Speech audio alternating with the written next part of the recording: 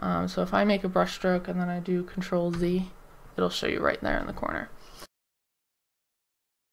I and O adjust the opacity of your brush. Here I am pressing I, and you can see the opacity is going down automatically. I don't even have to screw with the slider at all. And here I am with O, and it's going up, and it's just super easy to adjust it on the fly. So if I notice that something is just the wrong weight to it, then I can quickly, you know, just adjust that right as I go. And the same is true for brush size and the bracket keys. So here my size is at 40 and you can see that as I push the open bracket the size is going down and as I push the closed bracket the size goes up um, and that works on any brush. Okay so I have a bunch of brush strokes on screen and I can take any of these brushes and by pressing the E key or pushing this little eraser up here I can turn any brush into an eraser. So I have a little inking pen and now it's an eraser. And I push E and it's back to inking and I push E and now it's an eraser. And that is true even with the texture brushes.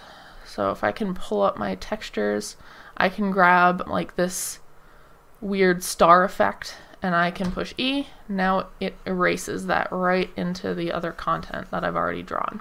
Super useful for what I do with pet markings on the site because sometimes that negative space is what's going to make the base color pop through or make another marking pop through and um, it just gives it a really cool effect. It's so useful to have that on any brush. Uh, for those of you who are pretty familiar with drawing, you need to check the balance basically of your piece or check to make sure that your eye isn't playing tricks on you with uh, regard to proportion.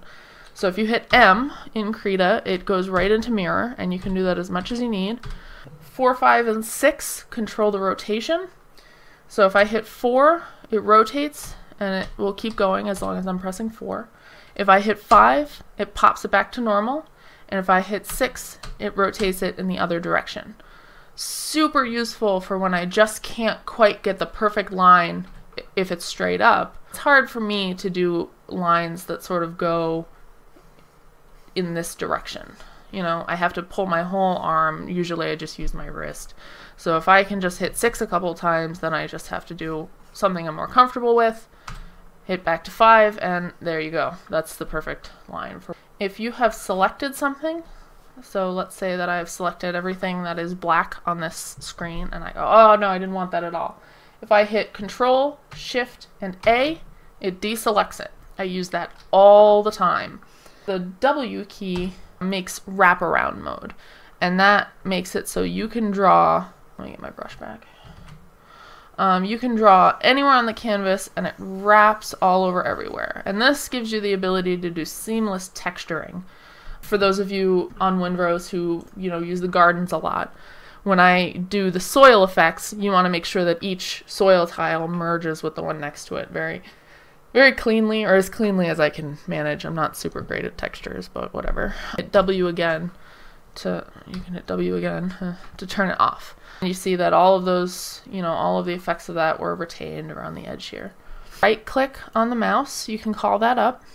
Or if you have a tablet with buttons right there on the pen, I have mine set up to be the top press of the button. So whenever I push that on the pen, it just pulls up my quick palette. And that's really useful for if you're in full screen mode. I rarely am ever in full screen mode, but if you prefer that, um, that is when you hit tab, all of your side pieces go away so you can get right in the drawing right there. I should probably utilize this more for my draw drawcasts because it would probably make it nicer, but I don't. So this basically lets you get that palette right up while you're in that wrap mode. So, or while you're in the full screen mode rather. The quick palette has all the colors you could need are on the outside, a regular palette are on the outside, and then you get the triangle uh, in the middle for, uh, what do you call this, like tone, I guess? I'm not a trained artist. So you can, you know, adjust um, that wherever you need and um, get whatever color you want. And then it has uh, favorite your favorite tools, essentially, around the outside in these little circles. These are your current selected colors right up here. And you can go to any of your brush presets or tags that you've created and pick a new one. So you can have all of them set up right here for whatever it is that you need to do. So I have a ton of my own. So anyway, um, any of these shortcuts or anything on the quick palette can be edited by you. If you go up here into settings and then configure, you can manage any of the layout that you want, uh, which is really convenient.